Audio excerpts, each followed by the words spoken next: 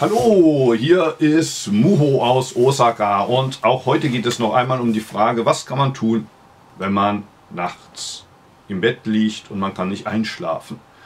Ähm, der Fragesteller, auf dessen Frage ich auch schon beim letzten Video eingegangen bin, hat keine Probleme beim Sazen, sich einfach hinzugeben, zum Beispiel auf die, an die Wahrnehmung der Daumen. Eine Stunde, anderthalb Stunden, kein Problem. Aber sobald er sich hinlegt und schlafen will, kommen all diese obsessiven Gedanken auf und die lassen ihm keine Ruhe.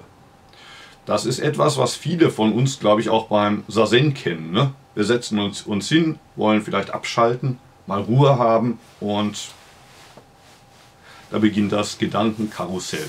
Was man da machen kann, darüber habe ich in vergangenen Videos gesprochen. Wenn euch das Thema interessiert, ne, wie geht man mit Gedanken um beim Sazen, gebt einfach Gedanken, das Wort Gedanken ein in die Suchfunktion auf meinem Kanal. Und da werdet ihr einige Videos finden. Ne?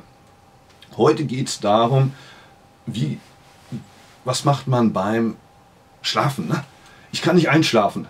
Und wie gesagt, ne, ich bin kein Schlafexperte und ich hatte auch selber nie diese Probleme. Aber es ging einigen meiner Dharma-Brüdern so. Ne? Und ich persönlich hatte das Gefühl, das liegt vielleicht daran, dass sie den ganzen Tag über zu viel schlafen. Ne?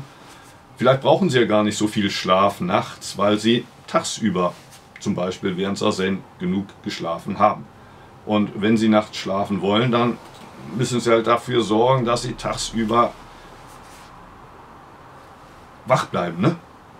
Während sie sagten, nee, ist umgekehrt, ne? Wir tun ja unser Bestes, wach zu bleiben tagsüber, ne? aber es geht leider nicht, denn wir konnten nachts nicht schlafen. Ne? Und mein Meister sagte, dann setz dich doch nachts auf dein Meditationskissen. Ne? Und da kannst du vielleicht vermutlich wie immer einschlafen. Ne? Und beim Meditieren leg dich einfach hin, dann bleibst du wenigstens wach. Ähm, wie dem auch sei, ähm, was mir dabei eingefallen ist bei diesem Thema, vor inzwischen 15 Jahren oder so kam mein erstes Buch raus im Rowold Verlag, ne, Sazen unter der Weg zum Glück. Das ist inzwischen in einer kompletten Neuauflage äh, im Berlin Verlag wieder erschienen mit dem Titel Der Mond leuchtet in jeder Pfütze. Ne? Und in derselben Saison kam auch dieses Buch bei Rowold raus. Äh, eine Japanologin, die glaube ich in Wien unterrichtet mit dem Namen Brigitte Steger. Und das Buch trägt den Namen Inemuli. Inemuli ist japanisch für im Sitzen schlafen oder manchmal auch im Stehen schlafen. Ne? Und man sieht im japanischen Alltag immer wieder Japaner, die genau das tun. Die zum Beispiel in der Bahn sitzen und schlafen. Oder wenn es in der Rush Hour ist, die vielleicht sogar stehend schlafen. Ne? Und im Unterricht, an der Schule. Äh, ich glaube, die Brigitte Steger berichtet sogar von Professoren, die während der Vorlesung einschlafen. Aber keiner merkt es, weil die Studenten auch alle einschlafen. Ne? Und ähm, ich glaube, dieses Buch beruht auf ihrer Doktorarbeit. Ne? Also das, eigentlich beruht es auf seriöser japanologischer Forschung, wenn es sowas überhaupt gibt. Ne? Aber ähm, sie hat da schon einiges äh, herausgefunden, äh, viele Bücher gelesen zu dem Thema, äh, verglichen. Ne? Aber der Rowold Verlag ne, will ja nicht nur Japanologen damit ansprechen, sondern der Verlag hatte wahrscheinlich die Hoffnung, ne? es gibt, was weiß ich, mehrere hunderttausend Menschen, glaube ich, in Deutschland mit Schlafproblemen, ne? dass idealerweise die dieses Buch kaufen, ne? denn dann wird es ein Erfolg. Und vermutlich wurde deshalb auch dieser Untertitel gewählt, gewählt ne? so wie in meinem Fall, Zen oder der Weg zum Glück. Ne? Es interessiert sich zwar nicht jeder für Zen, aber alle wollen glücklich werden. Ne? Wenn ihr glücklich werden wollt, kauft euch doch dieses Buch. Ne? Und bei diesem Buch war es ähnlich, ne? wie die Japaner schlafen und was wir von ihnen lernen können. Und tatsächlich in den letzten auf den letzten zwei Seiten äh, schreibt dann die Autorin auch, das ist die allerletzte Seite, ne? von Inemuli lernen, ne? ähm, leicht ironisch, glaube ich, äh, schreibt sie da. Ich möchte die Leserinnen und Leser einladen, eine Reise in das faszinierende Thema der japanischen Schlafgewohnheiten zu unternehmen und sich mit mir Gedanken darüber zu machen, ob und wie wir von diesen Erfahrungen auch lernen und die ein oder andere Anregung für unser eigenes Leben mitnehmen können. Und dann folgt eine Liste, nämlich Inemuli dient als soziale Tarnkappe. Wenn man schläft, dann ist man ja irgendwie nicht da und wenn man nicht da war, dann kann man sich alles erlauben. Ne? Ich habe geschlafen zu dem Zeitpunkt. Inemuli erlaubt erotische Annäherungen ohne Sanktion, zum Beispiel in der Bahn. Ne? Wenn man neben einem hübschen Mädchen sitzt, man traut sich aber nicht, sie anzusprechen. Das ist auch nicht, un, auch nicht üblich in Japan, aber man kann ja so tun, als ob man schläft und dann so ein bisschen in ihre Richtung äh, absacken. Ne? Inemuli erlaubt Protest ohne Sanktion. Es ist ja eine Leistungsverweigerung, aber in Japan, die Leute, die schlafen, am Arbeitsplatz zum Beispiel, die sagen dann so ähnlich wie meine Dharma-Brüder, ne? ich, ich schlafe ja nicht, weil ich faul wäre oder nicht motiviert. Es liegt daran, dass ich so hart arbeite. Ne? Ich mache so viele Überstunden. Ne? Ich arbeite so hart, dass ich gar nicht anders kann, als zu schlafen. Ich glaube, das ist hier gemeint mit Protest ohne Sanktion. Arbeit, Dienst nach Vorschrift, ne? aber keiner kann was dagegen tun, denn du gibst ja vor, mehr zu tun als die anderen. Ne? Die, die wach sind, die sind ja nur deshalb wach, weil sie nicht so viel von sich geben wie ich. Zwei Minuten Inimoli machen fit für zwei Stunden Arbeit, behauptet sie so hier. Ne? Aber ähm, ich glaube nicht, dass das auf irgendwelchen wirklichen Daten beruht.